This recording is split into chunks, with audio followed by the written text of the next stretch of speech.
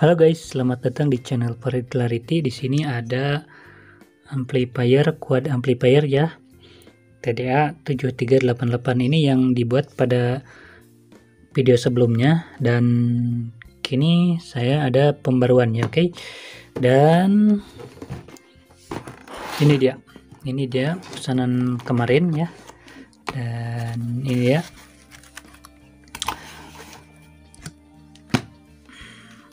Oke, ini dia PCB-nya yang kemarin. Kita akan ambil salah satu. Nah, ini dia. Apa sih yang baru? Di sini yang baru adalah penambahan preamp ya. Yang sebelumnya ini dia. Yang sebelumnya tanpa preamp ya. Ini dia. Yang sebelumnya tanpa preamp. Hanya input langsung dari sini sekarang sudah ada pakai preamp penambahan preamp. Dan untuk pin mute dan standby hanya menyediakan satu tidak di jumper. Ini ada sedikit uh, kesalahan. Dan kemudian di sini kemarin ada untuk power supply ada kesalahan pencetakan ya. Eh, PCC dan groundnya kebalik. Saya yang melakukan itu kebalik. Jadi kemarin memutar ini nih memutar untuk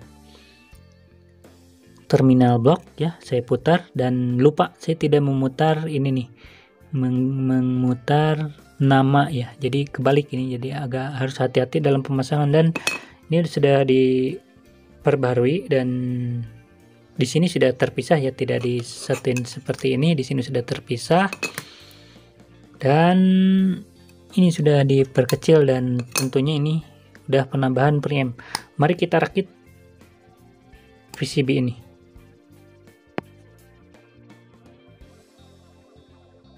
Perakitan dimulai dengan pemasangan resistor ya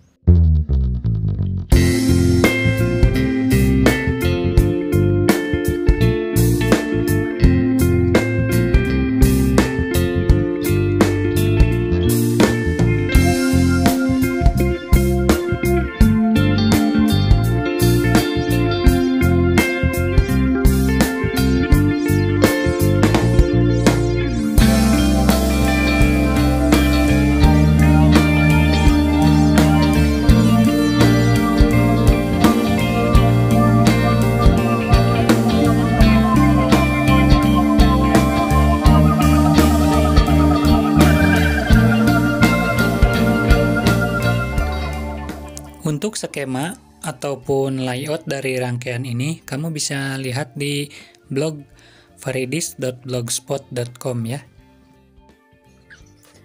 Oke, perakitan sudah selesai dan seperti ini hasilnya ini yang baru dan ini yang versi lama ya.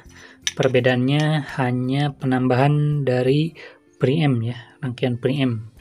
Dan kemudian ada sedikit perbaikan dan oke okay, Nah, kalau yang pertama ini inputnya dari langsung hanya melalui kapasitor ya. Dan ini di sini kalau mau langsung. Kalau ini udah pakai preamp ya untuk 4 keluaran ya. In 1, in 2, in 3, in 4. Output 1, output 2, output 3, output 4, oke. Okay? Dan mari kita coba ya. Pertama kita siapkan dulu saya akan menggunakan dalam percobaan ini hanya baterai 12 volt ya bekas baterai laptop oke kita akan pasang kabel power supply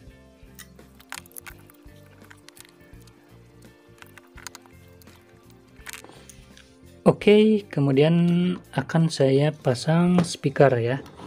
Ini speaker. Oke, saya pasang di sini aja. Di speaker 3 ya. Oke. Saya akan pasang di speaker 3 ini yang 3 yang bawahnya ya. Oke untuk inputnya saya akan oke ini dia untuk inputnya. Eh, ya untuk input dari audio. Kita akan pasang seperti ini okay. untuk keluarannya untuk negatif dipasang seperti ini ya. Oke ini untuk negatif di tengah. Nah seperti itu. Oke ini untuk positif. E, nanti dulu aja. Pertama kita hidupkan dulu power supply kasih power supply. Nyala. Oke ini dia sangat senyap ya. Tidak ada suara. Nah ketika input dipegang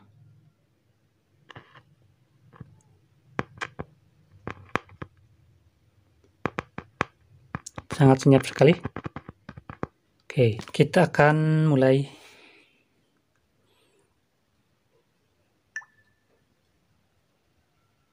Oke ya kita akan coba salah satu.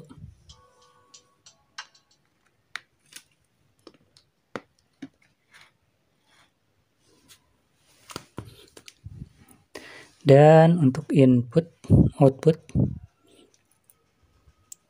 saya akan coba dulu. Saya secara langsung ke sini nah ini uh, seperti ini.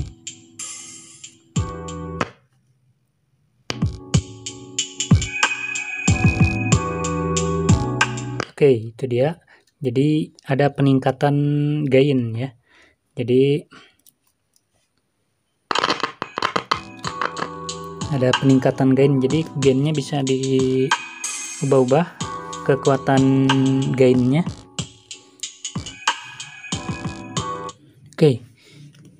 Jadi penguatannya atau gainnya bisa diubah-ubah dengan mengubah nilai dari resistor di op amp ini ya. Bisa diubah-ubah nilainya kalau mau diperbesar ataupun disesuaikan ya.